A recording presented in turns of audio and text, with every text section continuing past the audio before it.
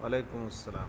এক ভাই বলছেন যে, কাদিয়ানি গ্রুপ কোম্পানির পণ্য কেনা যাবে কি না বা দোকানে বিক্রয় করা যাবে কি না ভাই, তো ও মুসলিমদেরগুলো যাবে কি যাবে না? হ্যাঁ? এই জিনিস আপনাদেরকে শিক্ষা দিল?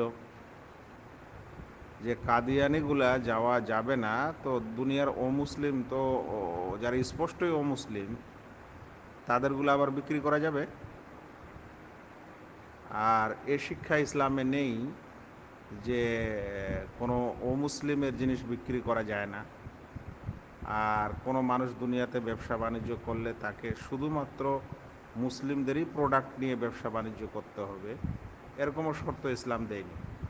তবে আল্লাহ রসুল সাল্লাহ সাল্লাম ও মুসলিমদের সাথে লেনদেন করেছেন এবং ও মুসলিম কর্মচারী যখন হিজরতের রাস্তা তিনি জানতেন না, তো রাস্তা দেখানোর জন্য তিনি একজন ও মুসলিম লোককে সাথে নিয়েছিলেন। তো আর আল্লাহ সাল্লামের যুগে যত কাপড় চোপড়, থালা, বাসন ইত্যাদি যেগুলা মানুষ ব্যবহার করে থাকে দৈনন্দিন জীবনে এখনও মদিনায় শুধুই মুসলমানদের কিছু সংখ্যক মুসলমান মদিনায় আছেন। তাদের কাছে কোনো ইন্ডাস্ট্রি ছিল না, কারখানা ছিল না। ওই সময় তারা কাদের জিনিস ব্যবহার করতেন? আল্লাহ রসুল তো বলেননি যে না, তোমরা এগুলো ব্যবহার করতে পারো না, ও মুসলিমের জিনিস। সেজন্য কিছু মানুষের মানে ইসলামকে বুঝার এত ঘাটতি আছে এ সকল ক্ষেত্রে, যে ঘাটতির ফলে এরকম ফতোয়া ইত্যাদি দিয়ে থাকে।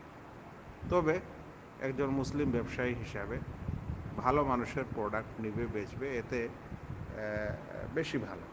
কিন্তু ও মুসলিম হোক কিংবা কোনো বিদাতি হোক কিংবা আর কেউ হোক, তাদেরও জিনিসপত্র কেনা বেচা মানে তাদের প্রোডাক্ট কেনা বেচা করা ইসলামে নিষেধ নেই।